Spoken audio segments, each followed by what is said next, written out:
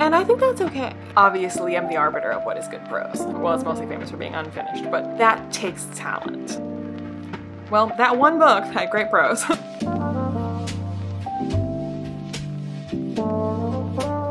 if you have watched my channel for a while, you're probably aware that I can be a bit of a prose snob, and I think that's okay. So I wanted to talk today about um, good prose, prose that is good for me, and some of the authors that I think of as great examples of at least the kind of prose that I like to see in books, or books that I would specifically call out for having quality prose. So what is prose as opposed to say grammar or syntax? Well, grammar is to prose as structural integrity is to interior design. So like with structural integrity, there is little to no debate to be had over grammar and syntax and that kind of thing, whereas there's a great deal of debate and subjectivity when it comes to interior design or prose. In fact, grammar and structural integrity can both sometimes be undermined or ignored in service of design or prose. So since we just established that prose or good prose is as subjective as good interior design, I think we should talk about what I think is good prose. And I, obviously, am the arbiter of what is good prose. But in all seriousness, I think it's important to establish what one's tastes are and what one is looking for. Because um, if someone just says, oh, this book has really, really good prose, and you pick it up and read it and you're like, this is the worst thing I've ever read, like particularly the prose. Um, that's probably for the same reason that somebody could say, oh, this famous interior designer designed this room, and you go into it and you're like, wow, this is the ugliest room I've ever seen in my life. But somebody designed it that way. Somebody thinks that that is gorgeous.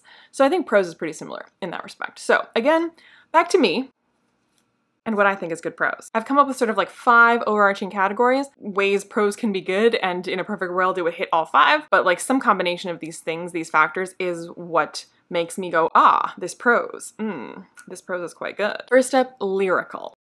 For me, the words should flow. They should sound good strung together. They should have a cadence, a rhythm. There should be beauty just in the shape and sound of them. Next, artful.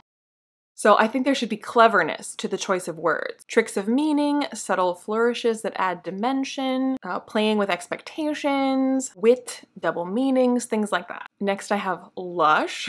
Um, I think the good prose to me should be evocative. It should be filled with imagery and sensory detail. I like um, prose to employ a lot of metaphors to kind of form pictures out of words um, to transport you to the experience that's being described. Next, I have poignant. I like there to be phrases that sort of like resonate beyond the story that is being told, where you can find greater, more widely applicable truths or wisdom, observations, reflections, things like that, that sort of like, that it's poetry in and of itself, even when taken out of the context of the story you know, the quotable quote, the kind of thing that you put on a bookmark, on a t-shirt, on a poster. Even if someone has not read the book or the scene or the sentence uh, in its entirety, um, just the quote by itself like holds some kind of like resonant truth or reflection that anyone looking at that can kind of go, oh, uh-huh, yeah, I, I get, I get what you're talking about. And lastly, I have verisimilitude one of my favorite words. So verisimilitude really just means that like, you know, that you're faking it. you're faking it really well. Um, it's like giving it the sense of being, oh, I'm finding it's really difficult to actually explain verisimilitude. So like, um, so even if something isn't like historically accurate, for example, but verisimilitude um, is like that it, it does a good job of like feeling authentic if that makes sense. So I think that prose, um, effective prose, good prose, is going to effectively like evoke the era or the style or the type of story that it is telling. So even if it's not perfectly imitating it, because then, you know, that's not verisimilitude anymore. Um, it's it's act it's just replication, if that makes sense. So if you're if you're telling a story that should be kind of like fairy tale-esque or is based on folklore, then you're not necessarily going to use the exact kind of language that you would actually find in a fairy tale or actually find in like an old English legend, but using prose that kind of evokes that vibe.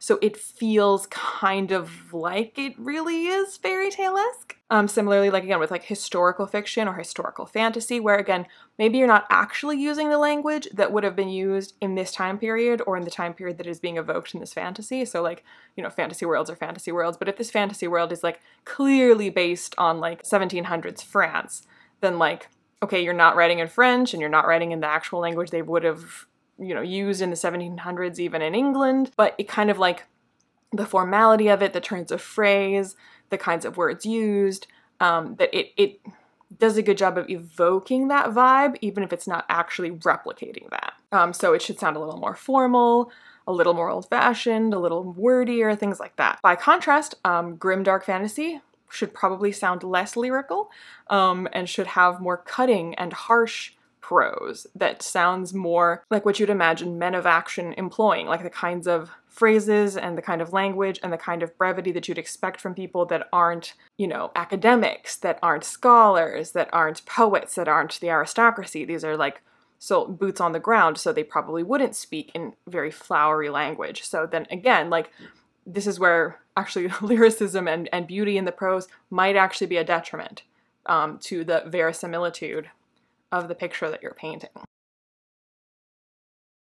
So now that we've established what I like in prose, let's talk about some of my favorite authors for prose. I think the first one that comes to mind for me and for many people is Patrick Rothfuss. The Name of the Wind, I think, is pretty famous for, well, it's mostly famous for being unfinished, but Patrick Rothfuss's prose, that's a thing that people talk about, it's a thing that people know about, it's a thing that people remark on when they read the book. And many a negative review will say, I hated this book, the prose was beautiful, but I hated this book. Now, of course, there are certainly reviews that say, I would have liked this book better if it wasn't so goddamn flowery. So again, your mileage may vary and your taste can be the exact opposite of mine in interior design. But Patrick Rothfuss is known for having this kind of like lyrical, lush, flowing prose. One of my most quoted quotes ever that it because it just like comes up a lot. Um, so for being such a long quote, I'm kind of surprised by how many times I've had occasion to use it. We'll do it again, and that is loving something because is easy. That's like putting a penny in your pocket. But to love something despite, to know the flaws and love them too, that is rare and pure and perfect. So the name of the wind, it isn't necessarily written in a really archaic way. It's not that formal in its prose, so it's not doing that. It's not doing the thing of like trying to sound like Shakespeare, but it is still very kind of like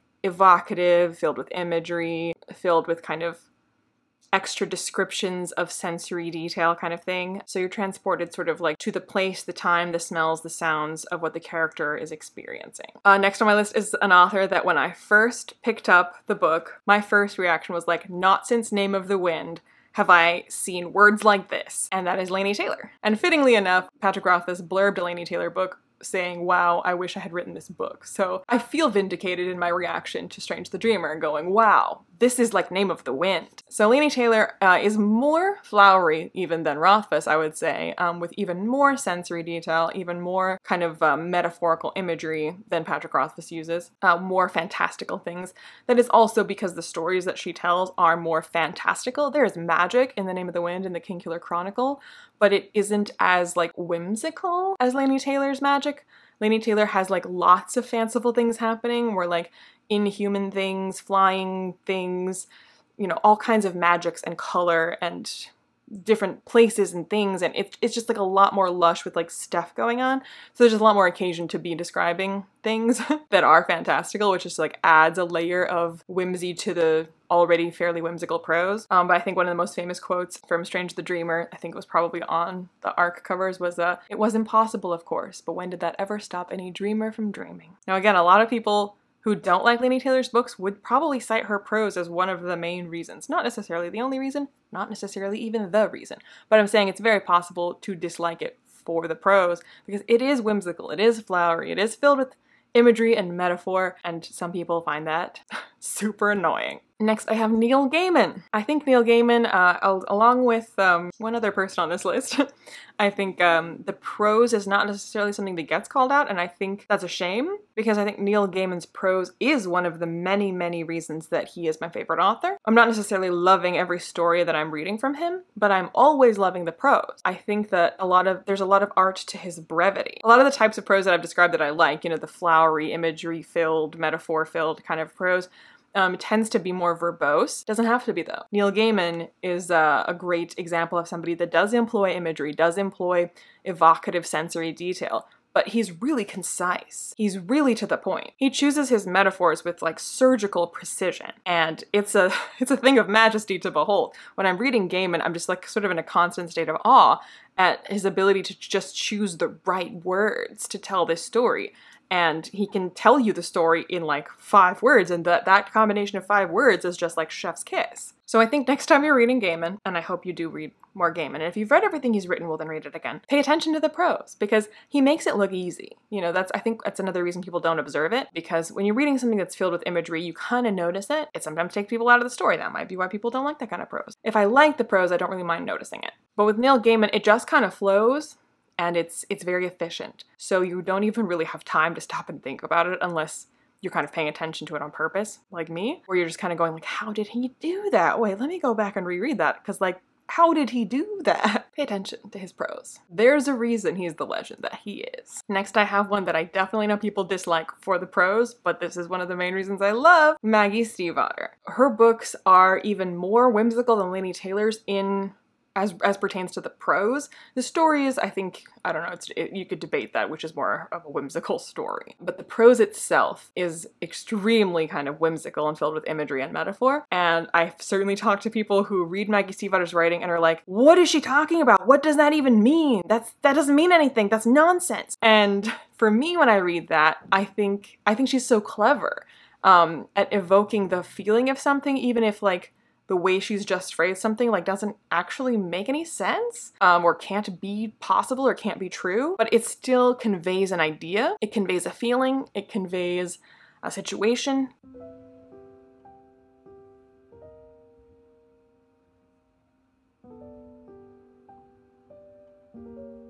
Realized I should probably offer you an example of what I mean with Maggie Stiefvater's writing. So on the fly, I found this quote, not a perfect example of what I'm talking about, but it should serve. As the hours crept by, the afternoon sunlight bleached all the books on the shelves to pale, gilded versions of themselves, and warmed the paper and ink inside the covers so that the smell of unread words hung in the air. The smell of unread words like isn't a thing. And yet like the that sentence that passage is extremely evocative of the vibe of the room the vibe of this moment so that's what I love about her writing. But it's perfectly valid to read that and go, that doesn't mean anything. That's not a thing. That's not a smell. So I get it if that bothers you, but that's what I love about it. Um, and if you don't like Maggie Stiefvater, then you definitely, definitely should not ever read the next author on my list, which is Tahereh Mafi. People make fun of Shatter Me for good reason. When I first started reading Shatter Me, I thought I hated it, which is to say, I guess I did hate it.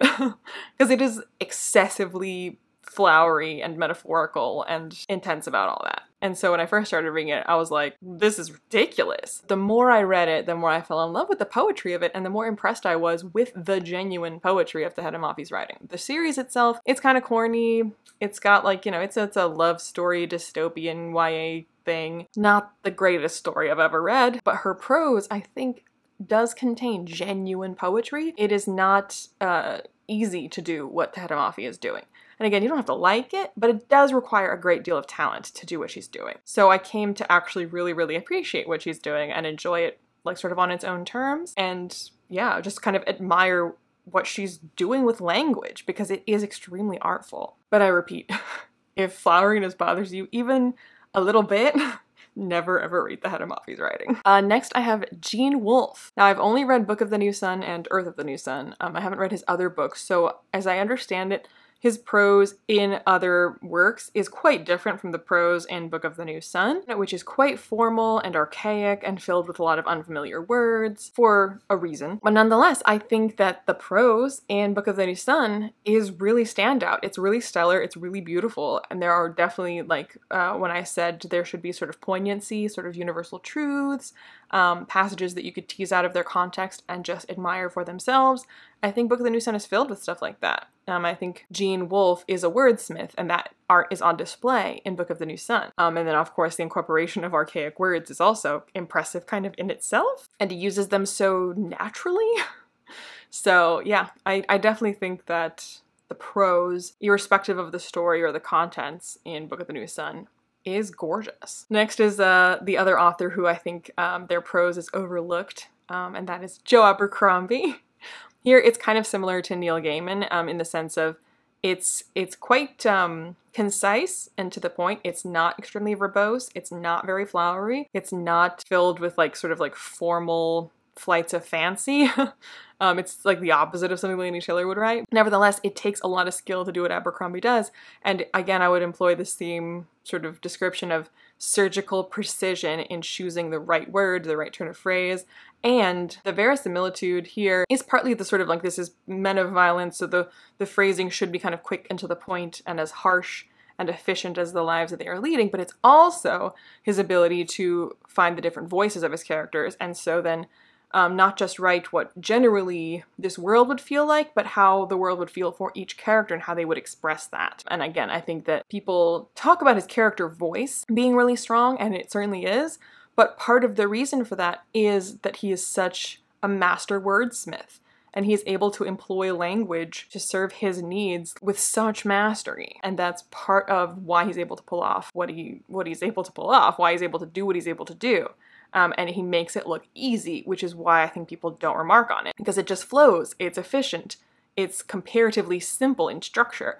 But again, it's deceptive in its simplicity because to put things that uh, concisely and effectively and efficiently in a way that gets you transported to this place, to this time, to these characters, to this vibe, that takes talent. But back on the flowery end of things, the next I have Donna Tartt. This is true in both of the books that I've read by her, but more true, I think, in The Secret History than in The Goldfinch. When I was reading The Secret History, I remember just kind of marinating in like the velvety, lush decadence of her prose. And I think the story wouldn't work half so well as it does if it wasn't for her prose. Uh, now, this again is one of those situations where the prose is extremely um, appropriate for the story being told. The book is about really pretentious academics who are up their own asses about their academia to their detriment, to their demise. And so there is like a pretension to the verbose nature of the prose, which is ex- exactly suited to the type of characters that she's writing about and whose perspective she's writing from. And so, in addition to just being gorgeous and poetic in and itself, it also transports you to the mindset of the characters that she's writing about. And here again, like it's filled with sensory detail. So, in addition to transporting you to their mindset in terms of it's just it, the pretension of it, it also again transports you to like the moment the sights, the sounds, the smells, the feelings that are being felt by the characters in any given situation in that book. Uh, next up, I have an author more akin again to like Tahereh Mafi um, or Maggie Stiefvater, and that is Catherynne Valente. Um, I have only read one book by her. Is that true? I own more books by her, but I think I've only read the one. Well, that one book had great prose. that one book being Deathless. Um, and here, this is blending folklore with history, and I think she does it. It is through her strange, wild, metaphorical, lyrical prose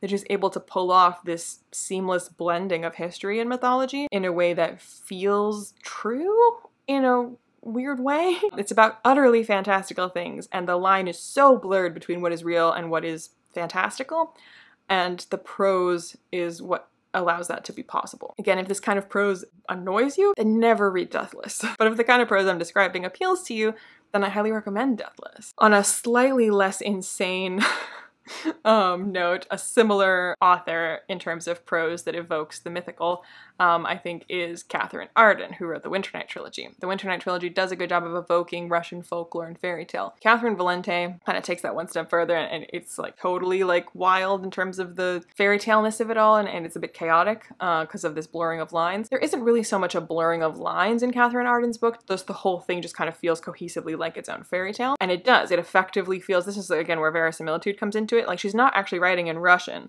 and she's not actually writing in like even like historical English. But it does have this kind of like formal yet whimsical quality to it with a lot of transliterated Russian words that effectively evokes this feeling of I'm reading an old Russian story. And again, that's it's not imitation, it's not reproduction of that exact thing. I mean, we'd have to be reading it in old Russian. so I think she does an effective job of giving you this vibe convincingly. On a similar note, um, Madeline Miller, who wrote Song of Achilles and Circe. Again, she's retelling the stories of uh, pulled from Greek myth. We would have to read it in actual ancient Greek for it to feel authentic, but she is kind of stripping away some of the myth in the first place. So she's making it sound a little bit less mythic than a myth would, because she want, kind of wants to tell a story about like, well, okay, well, let's think of these characters more as three-dimensional humans, not purely mythical figures. But they are figures from myth, and to to be able to go along with a story like that, it has to be told in somewhat a mythic quality so you can kind of go with it when it comes to them doing or experiencing or being around things that are fantastical and mythical. So I think she straddles that line quite effectively